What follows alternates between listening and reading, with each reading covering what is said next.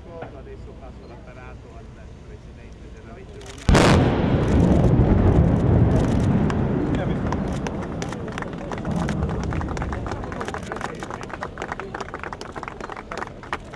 Avete l'hai vista lo scoppio?